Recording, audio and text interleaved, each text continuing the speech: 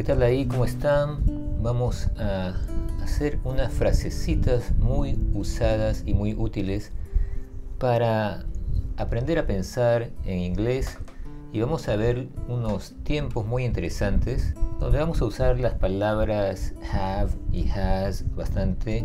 Eh, esto ya lo hemos visto anteriormente en otros videos, pero vamos a hacer una práctica otra vez de eso, que mucha gente no lo ha visto. Vamos a hacer la primera frase que empieza con ella ha vivido en New York por dos años.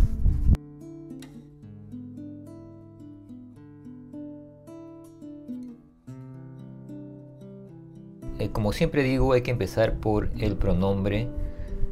Eh, en este caso está muy fácil, ella es she. Entonces vamos a traducir eso rápidamente. Después acá viene lo interesante y, viene la palabra a. Y en inglés hay dos opciones, have y has. Entonces depende del pronombre, o sea, de esto cuál vamos a usar.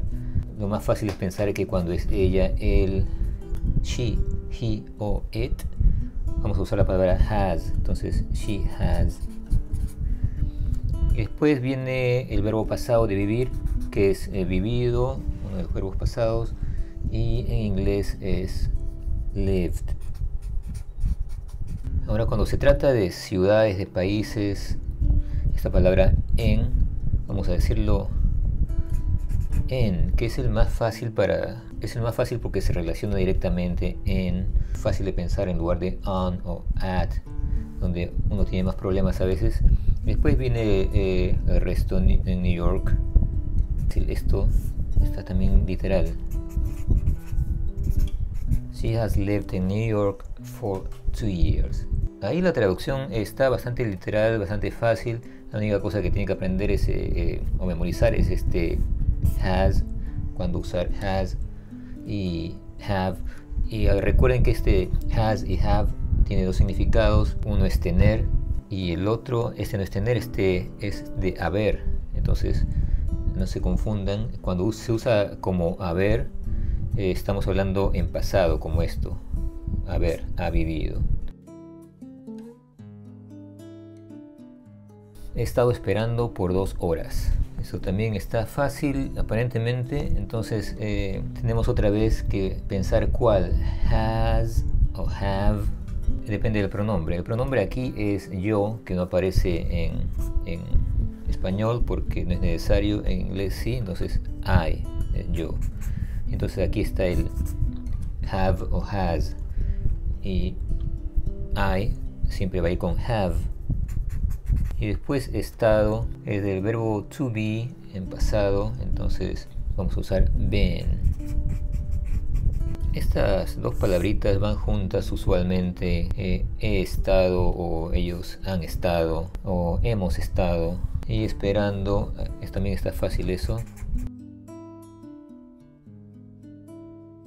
I have been waiting for two hours. Casi igual que acá arriba. En español otra vez empezamos. Me voy a quedar aquí por dos días. Esto estamos hablando en futuro y en este caso no estamos usando ninguno de esos have, has. Esta, esta frase es bien básica, así que tienen que saber cómo se dice esto en inglés. Y otra vez no estamos empezando con, no, no hemos puesto el pronombre en español, que estamos hablando de yo, yo me voy a quedar, entonces en inglés sí. Eh, futuro yo me voy a quedar. En el caso de I, I am going to, o con la contracción también, sí, I'm going to, o I'm gonna stay, de una forma más coloquial, en lugar de, vamos a escribir going to. Y después ya quedar lo que he dicho es stay. I'm going to yo voy a o me voy a quedar. Esto es fácil here y después I'm going to stay here for two days. Vamos con otro vamos a ver si pueden ustedes ya adivinar o interpretar esta Él ha trabajado por una semana. Bueno, ya hemos visto cómo se construye eso y está fácil también porque empezamos con el pronombre él, que sería he, a de haber, que puede ser have o has, como dije, y en este caso es eh, has, porque es él, o sea, he. Entonces, has. Cuando es she, también es has. Y después el tiempo pasado de trabajado. Worked.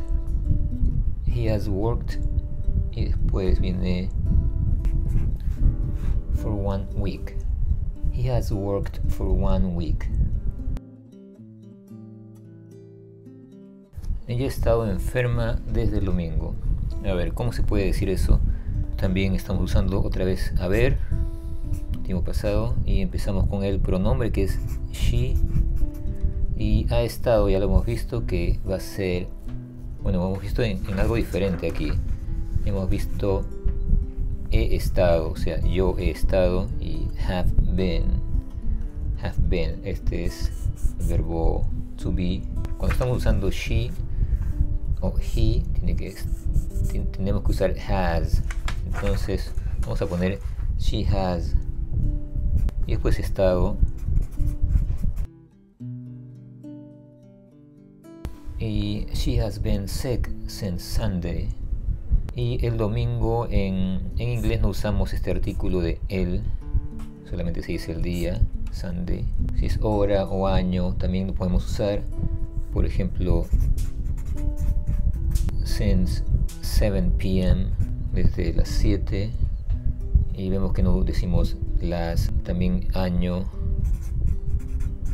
since 1986 desde el desde 1986 una cosa que se suele decir mucho en inglés en los años sobre todo es eh, en dos partes así como esto 1986 en lugar de 1986 es un poco largo, igual en español es largo, pero lo decimos todo, en, español decimos 1986, en inglés 1986, 2022, el año actual 2022. Bueno, como ven estamos regresando al formato anterior del año 1986, donde hacíamos este tipo de videos así, con papeles, por ahora tal vez, no sé si vamos a seguir así y espero que esto les haya gustado, que les haya ayudado y si fue así no se olviden de dejar un like para ayudar al canal y de suscribirse si no lo han hecho. También no se olviden de visitar nuestro website Inglés Relax si quieren descargar métodos, ebooks para practicar inglés. Nos vemos la próxima vez y chao.